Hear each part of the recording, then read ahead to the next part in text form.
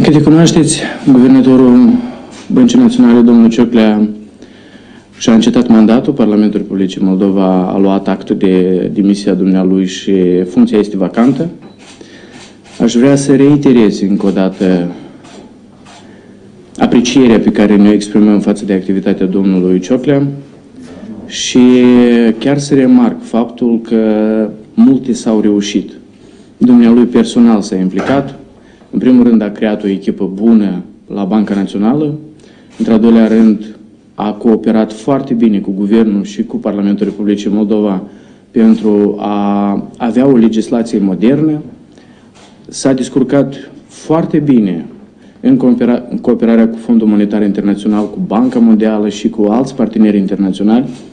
Și astăzi, ca niciodată, situația în domeniul financiar, bancar și monetar este una foarte bună în Republica Moldova, începând de la ratele creditelor în băncile comerciale, rata de refinanțare, uh, puterea leului, toate sunt în beneficiul economiei Republicii Moldova și multe se datorează capacităților, capacităților profesionale și de management a domnului Cioclea.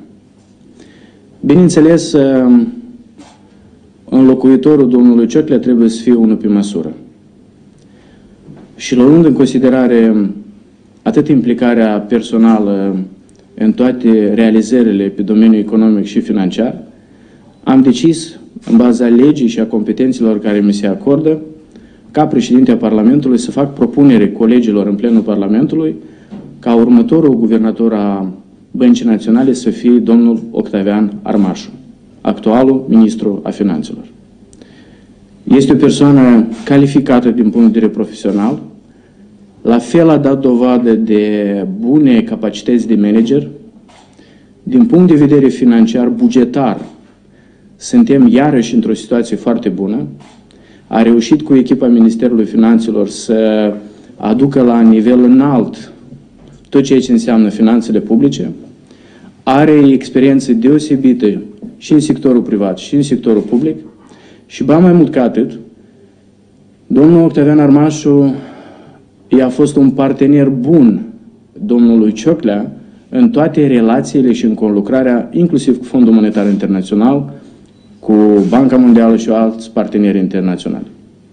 Cred că domnul Octavian Armașu va putea continua foarte bine ceea ce a reușit să facă domnul Cioclea, Domnul Armașu este cunoscut foarte bine de partenerii noștri internaționali, inclusiv de Fondul Monetar, de Banca Mondială, cu care urmează să lucreze în continuare.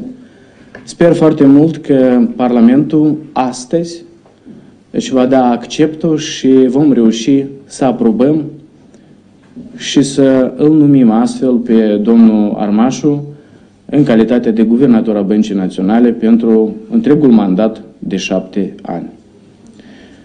Dacă aveți întrebări, vă stau la dispoziție. Vreau să totodată să vă comunic ca printre altele că avem o agendă foarte încărcată pentru ziua de joi și vineri, astăzi și mâine. De câte cunoașteți, Parlamentul și încheie mandatul său de plin mâine, pe data de 30 noiembrie. De aia sunt aproape 50 de subiecte pe ordinea de zi și cu siguranță comisiile care încă sunt în lucru astăzi și mâine vor mai genera anumite rapoarte și concluzii ca eventual chiar și această agendă de aproape 50 de subiecte să fie completată. Mulțumesc mult! Precizare dacă se cunoaște cine va ocupa funcția de ministrul finanțelor în locul domnului Armaș. Echipa Partidului Democrat și coaliția majoritară cu partenerii noștri din Partidul Popular European, noi am reușit să creăm o echipă guvernamentală foarte bună, profesionistă și tehnocrată chiar cu mai puține afiliere politică, cum e și domnul Armașu, de exemplu, ca și mulți alți miniștri în actualul guvern. Eu sunt sigur că echipa din care fac parte, politică, împreună cu partenerii din uh, coaliție și împreună, bineînțeles, cu unul dintre cele mai importante persoane care are cuvânt în această uh, chestiune, domnul prim-ministru, vom reuși în timpul cel mai apropiat să găsim persoana potrivită, poate chiar tehnocrată, ca să ia locul și să continue cu brio cele reușite de domnul Armaș. privind organizarea referendumului, când va fi înregistrat și uh, când ar putea fi votat, dacă reușiți? Acum uh, s-a încheiat ședința Consiliului Coaliției și a fost luată decizia ca în timpul cel mai apropiat să fie elaborat proiect de hotărâre și cel mai probabil astăzi sau mâine această decizie va fi aprobată. Patricia Podoleanu, ProTV. Domnule Cam, atunci când v-ați gândit la domnul Armașu, ați avut în vedere și alte candidaturi? V-ați gândit și la alte nume? Bineînțeles, în uh, spectrul uh, selecției sau al uh, examinării profilurilor sau a profilului candidatului am luat în considerare și alte persoane sau alte CV-uri, dar în toată această perioadă de măcinare intelectuală, totuși domnul Octavian Armașu apărea ca prima, prima alegere. Da, puteți să spuneți ce nume ați luat în considerare? Nu pot, fiindcă nu ar fi corect. Ați discutat cu domnul Armaș? Ne-au Bineînțeles, domnul Armaș am discutat. Zilele acestea am discutat cu dumnealui. Um, erau chestiuni importante de organizare, inclusiv procedurile de vot și de numire în Parlament chestiuni tehnice legate de dosar, care presupune să aibă anumite documentații, toate au fost pregătite, toate au fost puse la punct și, bineînțeles, uh, am luat în considerare atât trecutul nostru bun ca și experiență, mai ales în relația tot ceea ce înseamnă finanțele publice, politica monetară, dar și relația cu partenerii noștri internaționali și, în mod special, Fondul Monetar Internațional și Banca Mondială. Recent chiar am primit uh, unele mesaje și am avut discuții cu cei de la Fondul Monetar Internațional care pentru ei, bineînțeles, e foarte important cine va lua locul domnului Cioclea și i-am asigurat că nivelul uh, profesional și de integritate va fi cel ridicat în măsura așteptărilor. Ultima informație emisă de Banca Națională a Moldovei, uh, vorbind despre furtul miliardului, spune că există 17 titluri executori în valoare de 11 miliarde de lei, care s-ar încerca de recuperat, însă nu este posibil pentru că executorii vorbesc despre faptul că nu pot recupera acești bani, pentru că respectivii spun că nu, nu, nu iau. Uh, dacă pute... Ce înseamnă nu iau? Cine nu ia? Păi nu, nu sunt date numele companiilor despre care este, dar executorii au declarat că nu pot recupera acești bani. Domnișoare, sunt uh, hotărâri a instanțelor de judecată, sunt titluri executorii și există o legislație cum se execută o decizie.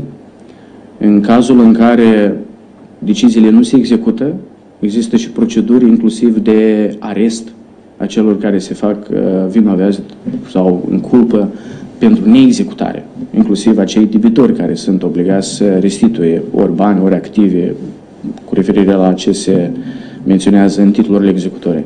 Nu vă faceți griji, așa cum am menționat și în perioadele anterioare, mai ales că avem deja decizii definitive și avem titluri executorii, se va munci foarte mult ca să recuperăm cât mai repede, în scurtă perioadă de timp, cât mai mulți bani. Există vreo speranță că odată cu venirea domnului Armașu să fie accelerat procesul de recuperare a banilor și poate să fie publicat raportul Crol 2? Nu ține de Banca Națională recuperarea miliardului. Banca, Banca, Banca Națională lucrează cu executorii, cu debitorii, cu lichidatorii celor trei bănci, dar aici contează foarte mult și Agenția de Recuperare a Bunurilor Infracționale, și CNA, și Procuratura Generală, și instanțele de judecată. Dacă veți vedea care sunt uh, jucătorii sau instituțiile implicate, prevăzute de strategia de recuperare, nu este doar Banca Națională. Așa cum a fost menționat și aici în plenul Parlamentului, sunt cele 7,7 miliarde deja de lei în dosare penale în fața instanțelor de judecată care menționează și cine sunt beneficiari. Sunt deja persoane condamnate, sunt bunuri care sunt sequestrate, sunt bunuri care deja sunt uh, vândute, sunt bani deja recuperați din dosare penale. Mă refer la cele două săptămâni în urmă jumătate de miliard care a fost transferat pe conturile uh, Ministerului Finanțelor. Deci procesul a început. Practic în fiecare zi există un anumit progres. Să avem puțină răbdare și cu siguranță vom vedea și mai mare progres. Mă refeream la faptul că Banca Națională are atribuții este în putere de a publica acest raport Crol 2 integral. Eu am înțeles la ce v-ați referit cu privința raportului Kroll 2. El nu va fi publicat deoarece, în primul rând, este interzis de contract și de Kroll Într-al doilea rând, raportul Crol 2 nu se află la Banca Națională, de da la Procuratura Generală. De aia, dacă vreți să întrebați cine trebuie să-l publice, eventual trebuie să-l publice Procurorul General, dar nu Banca Națională, fiindcă el nu mai există la Banca Națională. Vă mulțumesc foarte mult, succes și ne revedem foarte curând.